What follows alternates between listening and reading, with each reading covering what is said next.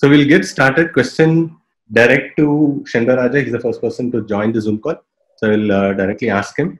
And it's a pounds format. If anyone else, Vishal, Adarsh, Jalio, Kira, Ethan, and Rahul, Navatya, if you know, message your answers to uh, Sandeep. Okay, question number one to Shenbaraja. This is your direct. Okay, Bangalore has a lot of apartments which are named after the supposed view they have. So yeah, a lot of lake view apartments you would have heard of. Uh, so these are all Quizmasters uh, video. This is really sad. Feels that this is sad. So just tell me what this apartment has a view of, and your apartment is this. We'll move the controls. Uh, you mean uh, IISc, Indian Institute of Science campus, perhaps? And uh, why do you say that? Uh, this is Science View. I think probably it's like just opposite the Indian uh, Institute of uh, Science campus, and you're able to see the the view of the campus and all that, perhaps. Exactly, it is Indian Institute of Science. Shanbaraja, you get a plus 10. Yeah, the, for the previous question, the answer was Indian Institute of Science, uh, Bangalore. It's near my uh, alumni or NID Bangalore. So that gives Shanbaraja plus 10. Question direct to Vishal. This is the Lotus Bridge between China and Macau on the Pearl River. Why this peculiar shape? So wait for a minute so people can. Okay, this is Vishal here. Okay, hold on, Vishal. Ah, you, you give me a go ahead, I'll say the answer. Okay. Jerlio plus 10 for you, Rahul Mohanty plus 10. plus 10 for Rahul. Anyone else? Monish uh, plus 10. Monish joined. Okay, plus 10 for Manish. I think we will close That is it. by 4 3 to 1. Pounds is close. Uh, Vishal, this is your direct. Go ahead and. Okay, so they shift from the left hand side drive to right hand side or the other way. Basically, to change the direction of driving. Exactly. This is the change from left hand to right hand drive. So I was checking this image. So basically, when you start from left hand here, then you get the roundabout and go direct here and all this way and all this way. By the time you when you rejoin, it becomes a right hand drive. So Vishal, a good 10 points plus 10 to Vishal there. Uh, I believe these two countries follow different ways of driving. So this bridge basically helps the drivers to change from left hand drive to right hand drive. So plus 10 direct for Vishal, on the pounds for Jarlio, Rahul, and Munish. Next question direct to Adarsh. Adarsh, give it a minute for people to pounce, and then uh, after I give a go ahead and answer. Adarsh, your direct is this. Can you see the question? Rahul, do you want to unmute and answer? So the game name is Pox, as in smallpox or chickenpox, whatever, uh, and uh, the to teach the notion of herd immunity, Exactly. which was uh, given by that Boris Johnson. Exactly. That is right. Uh, Pox: Save the People is the name, and uh, to, ex- to to to teach the concept of herd immunity. I think that's what uh, UK have been trying, and some of these Scandinavian countries are trying to improve it. Good answer, Rahul. Yeah, this is Pox the game, and uh, herd immunity is what they teach through this game. Ethan Hunt, your next challenge, your challenge if you try, if you accept is this. This is Elizabeth Dami. Ethan Hunt, hold on, wait for a minute for the pounds to close and then you can answer. This is Elisabetta Dami, whose books are a huge success in original Italian as well as their English translations.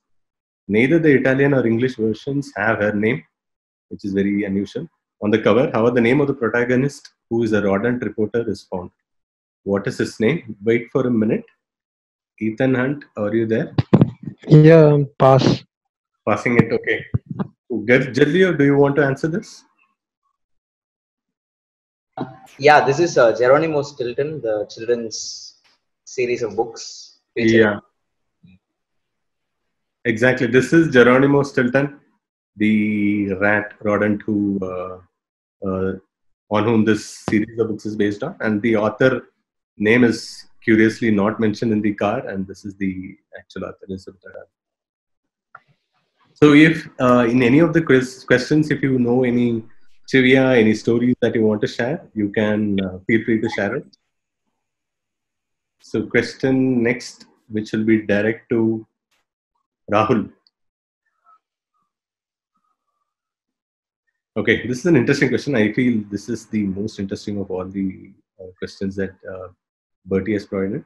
The people of Hiroshima and Nagasaki were exposed to high dose of radiation and subsequent heat from the atom bombs dropped on them.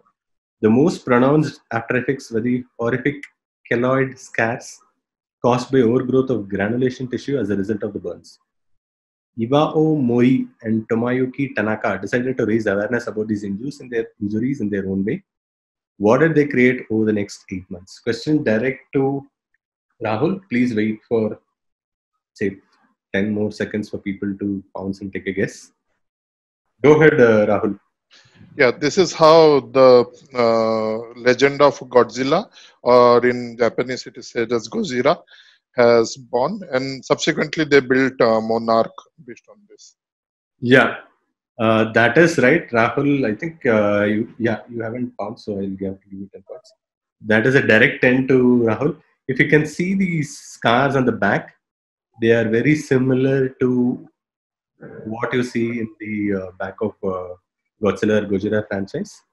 They use that character to uh, show the uh, actually the whole uh, myth of Godzilla and the uh, hydrogen bomb or the atom bomb is very connected. So the answer is uh, Godzilla, and that was a franchise that the creators used to spread awareness about this. Amartya, this is a direct. Hold on for 10 seconds for the people to pounce and then you can answer. Sustain ululation, ululation, sustain at a higher frequency ululation, and sustain at the starting frequency and is an oral palindrome. What am I talking about? Is this yodeling? Uh, the Swiss yodeling, not the right answer. I said fictional character. So instead of saying the answer, I'm going to play the answer. Uh, fictional character. Yeah. Can I have a guess? Yeah, go ahead. Uh, is it the Tarzan guy? Oh, Exactly. It is.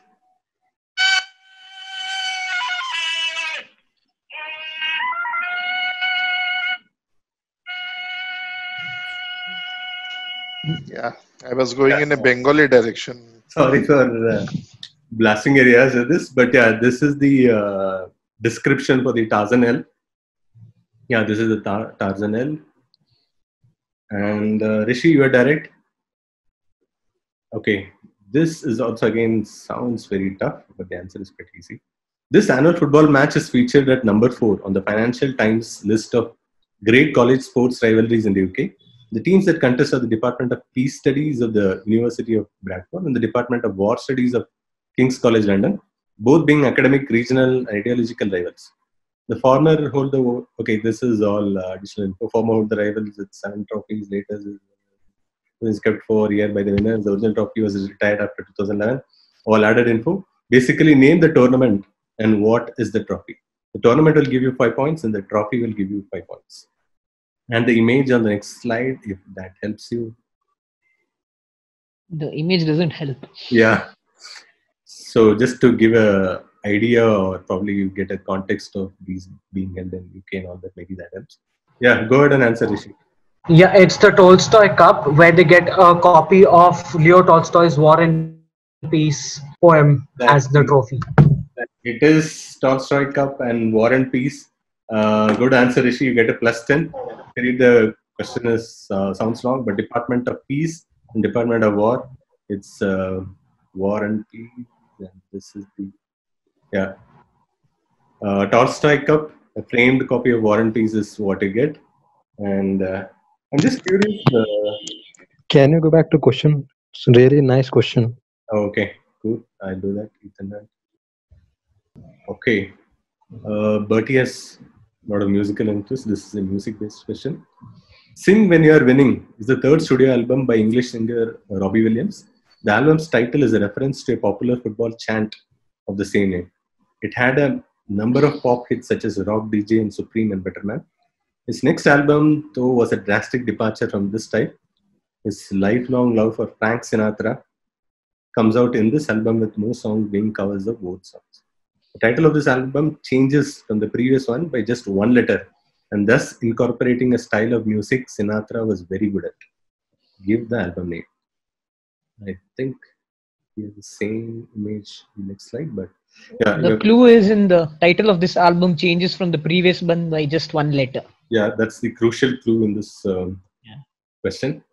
Swing when you're uh, Winning. winning is that second album where he just changed one letter and then uh, that became the new name. Question direct to Monish while give it some 10 seconds for other people to pounce. Okay, this is an interesting question. This is uh, French name. La Pe- Joseph Pujol. He was an extraordinary musician who performed at solo venues like the Moulin Rouge in the 1890s and covered O Sole Mio La Masse during his performance. Fans who he left breathless include breathless include King Leopold II, Prince of Wales Edward, and Sigmund Freud. After World War One, he left performing and set up a bakery and passed without a noise in 1945. I can see the stamp of Berty's humor throughout this question.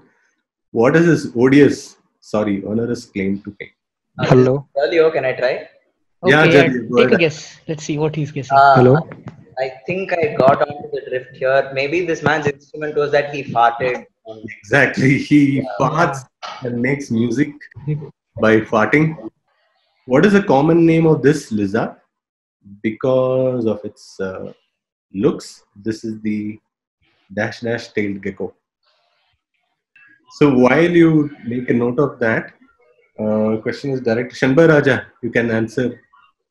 It's your direct. Uh, it's, uh, a leaf tail gecko, but I Okay. don't know what the five points because yeah, it's very visually. Uh, uh, the answer is right there. It is leaf tail, but the first uh, blank is.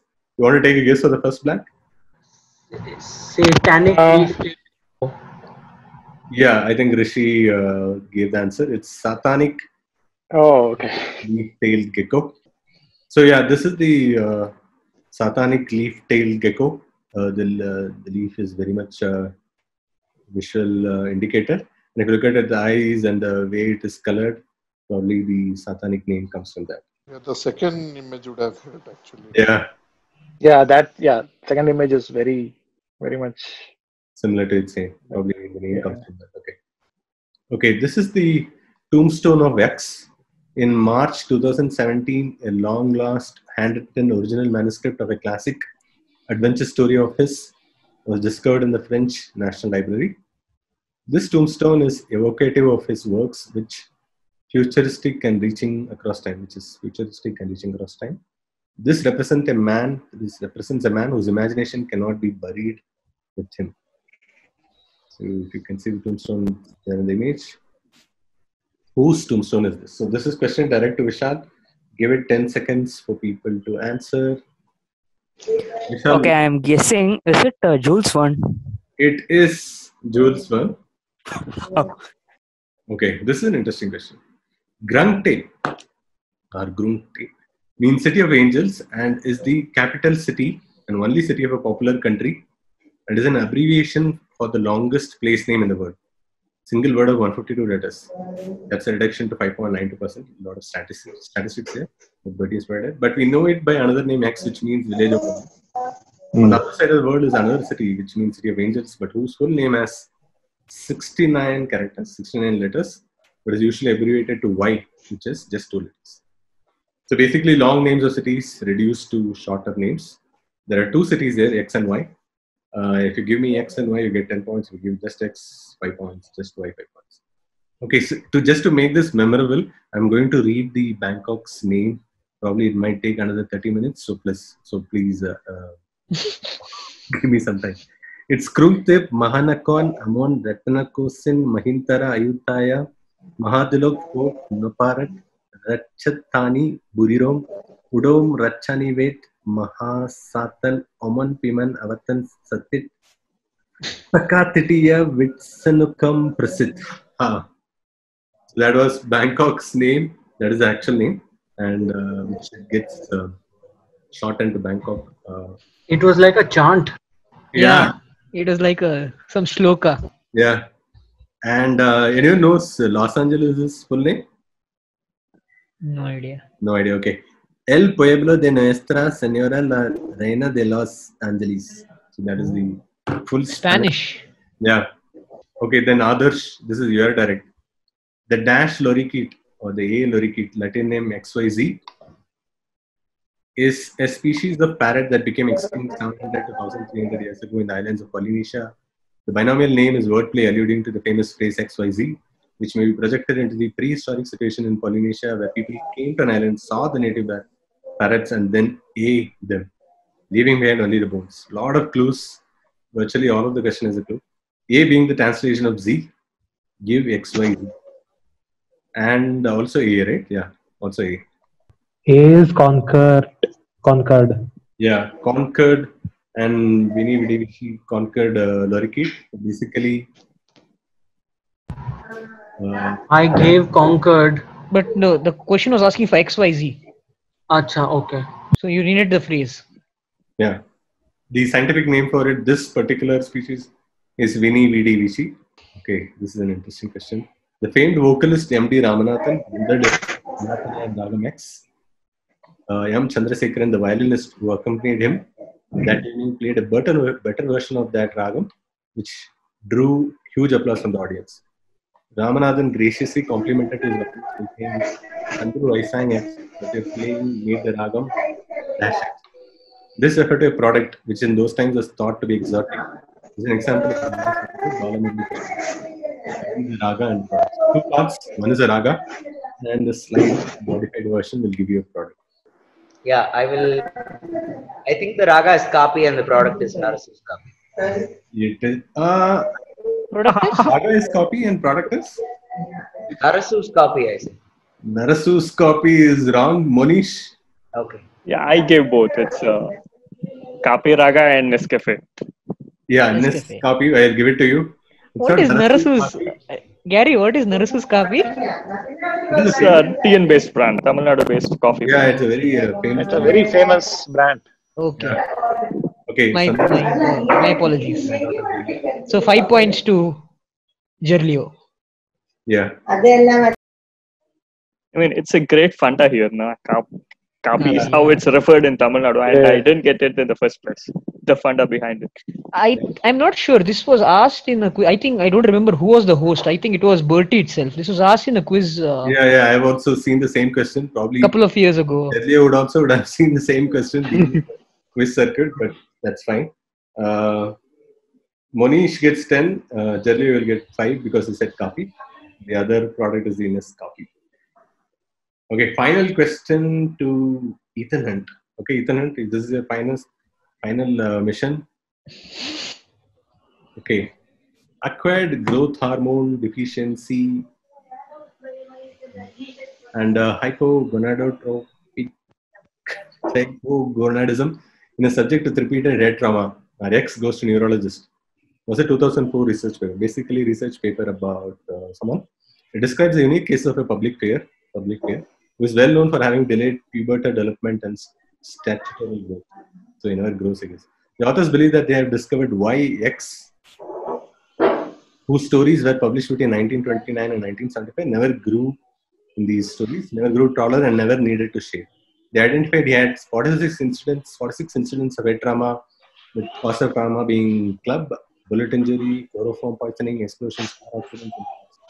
Basically, a character who went through all of this and still survived, never grew. Pick on next slide. This is your pick. Rahul Mohanty gets 10 points. Rahul gets 10 on this too. Okay, good. Rahul, you're on fire. You'll probably answer all most most of the questions. So Adarsh guess good guess, but incorrect. Incorrect. Okay. There is a very minor clue in the picture if you can just show. that. Yeah, yeah. Yeah. Actually, if you closely observed, I also observed that. But yeah, that's fine. Um, closing the pound symbol. Uh, Rishi gets 10. So Rishi and Rahul get 10. two, one, and zero. Closing the pounds question is about Rishi. You got in the pounds, but you can still unmute and answer this. Tintin. Tintin. Now, now it is mission impossible. He can't answer. He answered, he answered right? 10 points to No, no, I'm just saying. his So- internet was making a mission impossible to win the quiz. Yeah. Yeah, Right from the beginning. Correctly. It is uh, Tintin who never grows throughout the series. So there is a one of those whimsical research papers which kind of makes a molehill out of a mountain by going into all these uh, theories. So the event saying that he uh, goes through a lot of these trauma injuries. That's the reason why he never grows. Tintin was the answer, and uh, Ethan Hunt gets plus 10. Go think- back to the question. There, there are Yeah. hints over there. Uh, nice question. Yeah. Very nice. Yeah, thanks to Berty. Yeah. Uh, you have any No, not the question. The photo actually. Photo. If you can see So, there's a, The Uh. Snoopy Snoopy dog is over here. yeah, Tintin is already written over there. Yeah. okay. Good observation skills are required to find that. Yeah, just a little bit of self plug. Please uh, follow my channel because I'll be posting the questions there.